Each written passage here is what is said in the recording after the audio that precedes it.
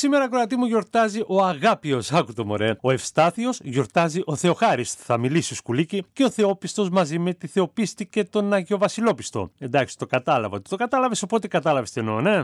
Σήμερα είναι η Παγκόσμια ημέρα γυναικολογικής ογκολογίας με στόχο την ευαισθητοποίηση για τους κύριους τύπους των καρκίνων που πλήττουν τις γυναίκες. Το 1519 ξεκινούν από την Ισπανία πέντε πλοία με επικεφαλής τον Φερντινάρδο Μαγκελάνο, προκειμένου να κάνουν τον περίπλου της γης. Τελικά ο Μαγκελάνος δεν καταφέρνει να κάνει το γύρο της γης, καθώς σκοτώνεται στις Φιλιππίνες το 1521. Αλλά ένα από τα πλοία του καταφέρνει να ολοκληρώσει το ταξίδι το 1522. Και γιατί δεν ξέρουμε κανέναν από το πλήρωμα εκείνου του πλοίου που τα κατάφερε και όλοι ξέρουμε το όνομα του Μαγκελάνου. Τι στο καλό, τηλεκατευθυνόμενο, μη επανδρομένο ήταν εκείνο το ένα το ικανό. Το 1828 αποχωρούν οριστικά από την Πελοπόννησο οι Τουρκοαιγύπτιοι με επικεφαλής τον Ιμπραήμ. Στο καλό και να μας γράφετε, αν και δεν έχουμε παράπονο γενικώς, γραμμένους μας έχετε. Σαν σήμερα το 1934 θα γεννηθεί η Σοφία Λόρεν, Ιταλίδα ηθοποιός βραβευμένη με Όσκαρ. Σύμβολο ερωτισμού, σύμβολο για τη γυναική επιχειρηματικότητα, σύμβολο γενικώς. Το 1942 στο Λετίτσιν της Ουκρανίας, δυνάμεις των ΕΣΕΣ σφαγιάζουν πάνω από 3.000 Εβραίους. Έτσι απλά. 3.000 ανθρώπους και αυτούς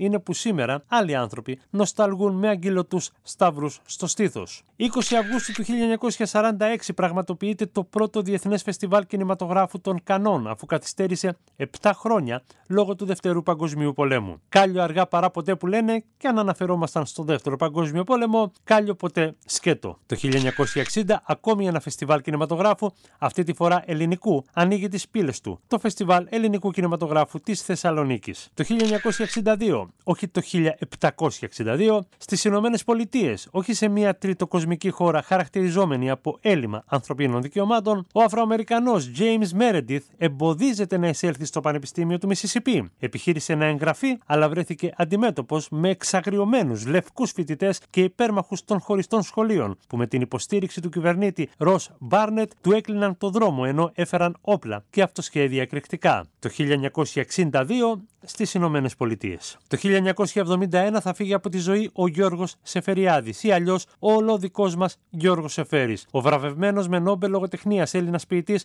που τα αειδόνια δεν τον άφηναν να κοιμηθεί στις πλάτρες. Είπε και έγραψε πολλά και σημαντικά. Ανάμεσα σε αυτά, μπορεί πολιτική να σημαίνει την τέχνη του να κάνεις δημόσια πράγματα που ντρέπεσαι να κάνεις ή και να ομολογήσεις στο σπίτι σου. Το 2005 θα φύγει επίσης από τη ζωή ο Σιμών Βίζενταλ, αυστριακός συγγραφέας και κυνηγός Ναζί. Εβραίος στην καταγωγή που επέζησε του ολοκαυτώματος και μετά τον Δεύτερο Παγκόσμιο Πόλεμο έγινε διάσημος για τη συμβολή του στον εντοπισμό ναζί εγκληματιών πολέμου. Δουλειά και αυτή όμως, ε. Λιγότερο συχαμερό θα ήταν να κυνηγούσε μεταλλαγμένες κατσαρίδες Μαγαδασκάρης. Αυτά ακροατή μου τα σημερινά μας και αύριο βεβαίως θα έχουμε τα αυριανά μας. Τι πληροφορία βόμβα ήταν αυτή η ακροατή μου, ε. Μέχρι τότε ωστόσο να αγαπάς πολύ και να γράφεις ιστορία.